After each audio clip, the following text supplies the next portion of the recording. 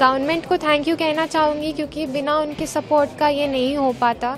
तो thank you so much नहीं, इससे ज़्यादा और कुछ नहीं, बस मोटिव लेके आया था कि एक गोल्ड मेडल लेके जाना है इंडिया के लिए बट तीन गोल्ड मेडल ऐसा लग रहा है कि अभी मतलब सपने में हो अभी भी। ये तो बोल सकते कि इंडिया के इंडिया में चल रहा है बट बट एशियन गेम्स में दो एक सिल्वर और गोल्ड दोनों इंडिया के पास, और फाइनल इंडिया के साथ।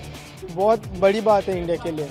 पहले तो मैं बाकी स्पोर्ट्स प्लेयर्स को भी कॉन्ग्रेचुलेशंस करूँगा उनके भी मेहनत की वजह से ये सब हुआ है। और हंड्रेड इंडिया के लिए बहुत बड़ा एक नंबर है। और बहुत प्राउड फील होता है कि इंडिया भी अभी ग्रो कर रहा है और ऐसे ही ग्रो करते रहेगा।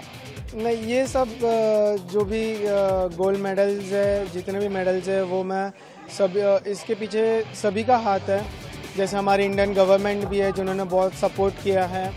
फिर बाद में हमारे कोचेस है पेगनी सरजो पेगनी और प्रवीण सावंत सर जिन्होंने, जिनका उनका, उसके पीछे आता फिर उसके बाद मेरे मम्मी पापा और जितने भी सपोर्टिंग स्टाफ है ऑल ओवर इंडिया के, उन सब का हाथ है इस गोल्ड मेडल के I am very very happy that India is won many medals this time and gold and many many medals most of the events we have touch and got the medal jumping events also throwing throw events also hurdling events also and running events also even specially long distance also we have won the gold medal so I am very happy happy happy for me today and it's I think it's, a, it's, it's because of our Prime Minister vision that India will become a sporting power, spending a lot of um, uh, money for our players, like giving incentives and getting coaches from outside, giving a lot of exposure, and uh, and and even for association and all, giving good governance also.